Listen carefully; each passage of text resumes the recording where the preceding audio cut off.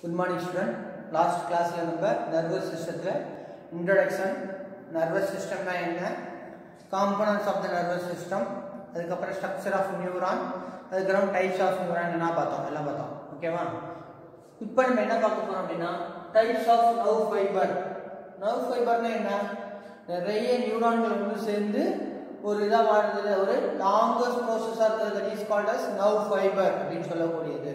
இது nerve fibre அப்படின்னு சொல்லுவோம் நர்வ் ஃபைபர் நிறைய நியூரான் ஒன்று சேர்ந்து ஒரு லாங்கஸ்ட் லென்த்தியஸ்ட் ப்ராசஸாக ஒரு நீளமான ஒரு இலை மாதிரி இருக்குது that is called as nerve fiber இந்த நர்வ் ஃபைபரில் எத்தனை டைப்ஸ் இருக்குது அப்படின்னு பார்த்தோம்னா இந்த நர்வ் ஃபைபர்ஸ் என்ன சொல்றாங்க? Two types based on their covering of myelinated sheath என்ன சொல்றாங்க?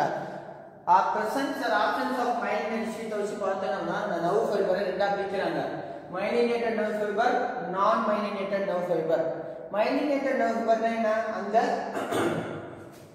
நியூரான்ல இருக்கிற ஆக்ஷான்ல இருந்து இந்த myelin sheet தோராய்னா that is called myelinated nerve fiber அது நான் மைலினேட்டட் நர்வ் ஃபைபர்னா நாட் கவர்டு மைலின் ஷீட் இந்த ஆக்ஷான் ரீஜன் அந்த ஆக்ஷான் ரீஜன்ல மைலின் ஷீட் இல்ல அப்படின்னா that is called non myelinated nerve fibre இந்த மாதிரி பார்த்தோம் அப்படின்னா அந்த nerve ஃபைபரை presence and absence of myelin வச்சு ரெண்டா பிரிக்கிறாங்க. Myelinated நான் மைலினேட்டட் அப்படின்னு. இப்போ இந்த மைலினேட்டட் நர்வ் ஃபைபர் அப்படின்னு பார்த்தா form the white matter of the brain எதை உண்டு பண்ணுது? பிரெயின்ல இருக்கக்கூடிய ஒயிட் மேட்டர் கிரியேட் பண்ணக்கூடியது.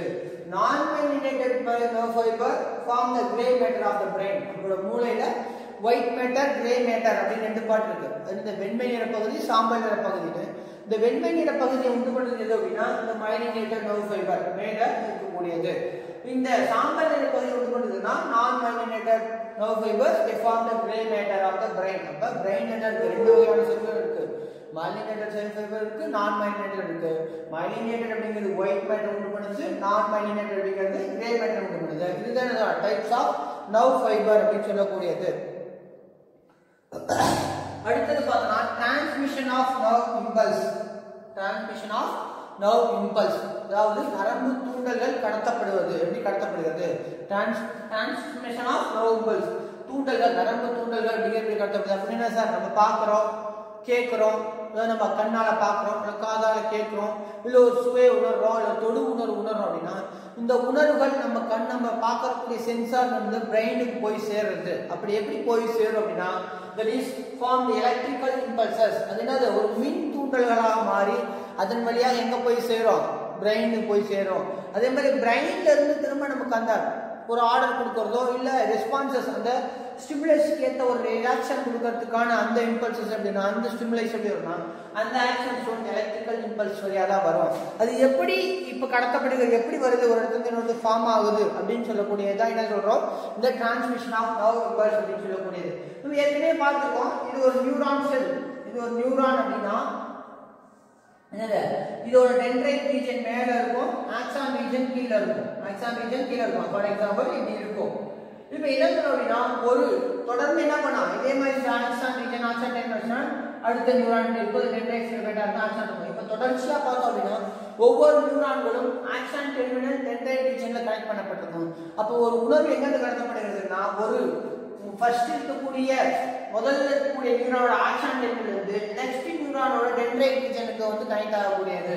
இப்போ இந்த இடத்துல தான் என்ன ஆகும்? இந்த ஆக்ஷன் டெர்மினலுக்கும் இந்த டென்ட்ரைட் நடுப்புற தான் என்ன பண்ணும் அப்படின்னா அந்த நர்வ் இம்பல்சஸ் அப்படிங்கிறது கடத்தப்படும். அது எப்படி கடத்தப்படும் அப்படின்னா எலக்ட்ரிக்கல் இம்பல்ஸ் தான் கடத்தப்படும். அதுக்கு இன்னொரு பேர் நியூரோ டிரான்ஸ்மிட்டர் அப்படின்னு சொல்லுவாங்க. நியூரோ டிரான்ஸ்மிட்டர் நரம்பு தூண்டலில் கடத்தப்படுது. நியூரோ டிரான்ஸ்மிட்டர் அப்படின்னு சொல்லப்படுது.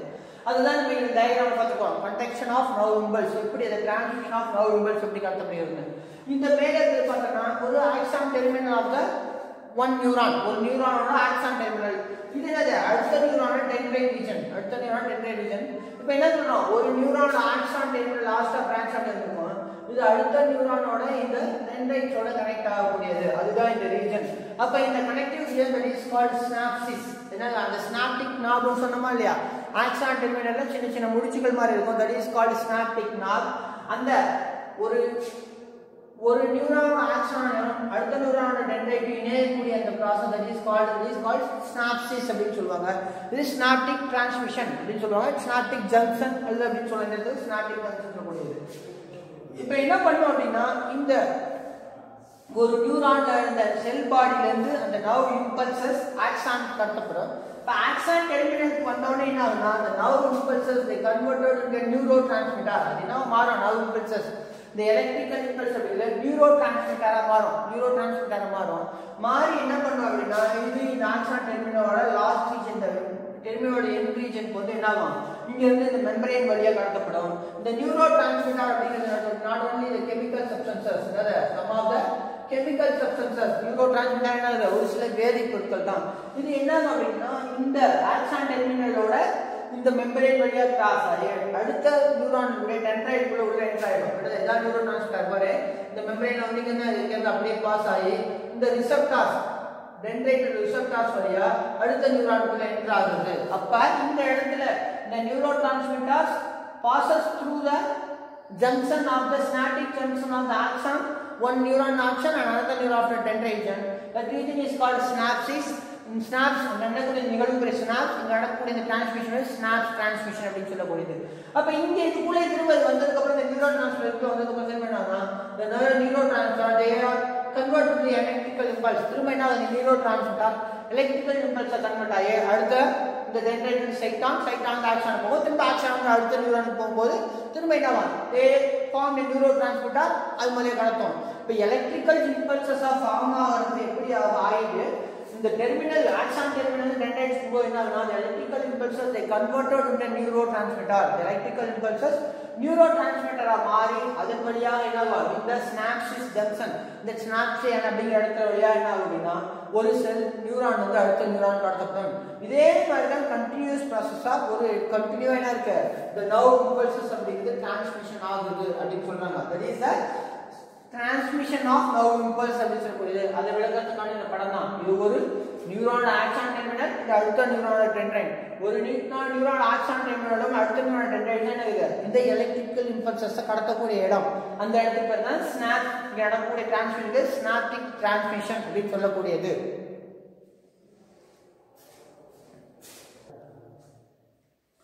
இப்போ இதை சொல்லியிருக்கோம் ஆக்சான் டெர்மினல் வந்து டென்டான் போகக்கூடியது. இப்போ நியூரோ டிரான்ஸ்மிட்டர் அப்படின்னு என்னன்னு பார்க்கணும் neurotransmitter is a chemicals என்னது? Neurotransmitter is a chemical which allow the transmission of nerve impulse the axon terminal of one neuron to the dendron region of the another neuron another neuron or effector neuron அப்படின்னு சொல்லக்கூடியது அது என்ன ஒரு chemical substances இது என்ன பண்ணுது allow the transmission of nerve impulses in the axon terminal of one neuron to the dendron region of the another neuron அப்படின்னு சொல்லக்கூடியது இதுல முக்கியமான டிரான்ஸ்மிட்டர் என்ன அப்படின்னு பார்த்தீங்கன்னா அசிடைல் கோலின் டிரான்ஸ்மிட்டர் அப்படின்னு சொல்லுவாங்க. முக்கியமா நரம்பு தூண்டலுக்கு அடுத்தக்கூடிய முக்கியமா பயன்படக்கூடிய ஒரு கெமிக்கல் சப்ஸ்டன்ஸ் என்னன்னா acetylcholine acetylcholine is important neurotransmitter